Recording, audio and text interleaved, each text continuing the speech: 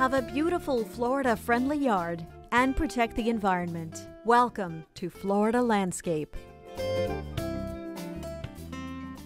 In doing a Florida friendly yard, one thing you have to remember is to put the right plant in the right place.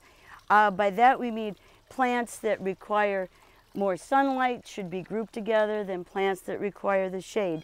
Also, their watering needs.